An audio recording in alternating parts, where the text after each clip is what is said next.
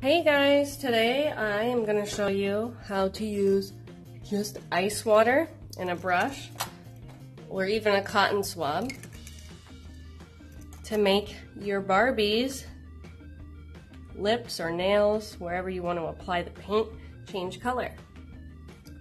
The trick is the water has to be at least 72 degrees and it will change.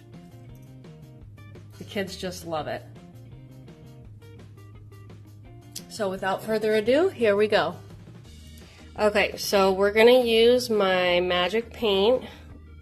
It's for sale on my website.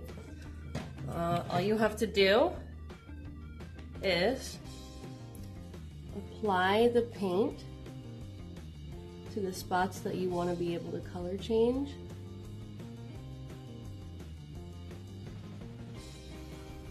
And let it dry.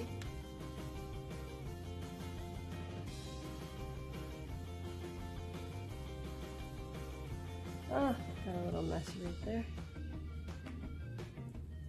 And let it dry.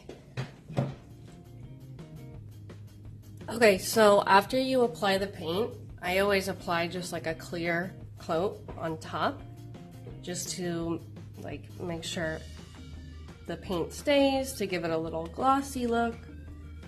So, so we're giving it a little glossy look by adding a clear coat and I even did her eyes and her nails too, so that we can have like color changing nail polish. All right, here we go, using our magic color changing paint. Wherever we applied it, we can now make it change color. Also in her hands. And we did this using our special magic paint from our website, Color Changes. And once it gets above 72 degrees, it'll go back to pink. So go get it. This is the bottle. It's available on our website. Don't miss out.